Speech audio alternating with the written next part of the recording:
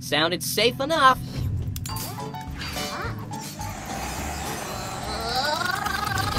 I was supposed to test which hats would look good and stay on my head when I was driving in my car. Can you guess how that ended?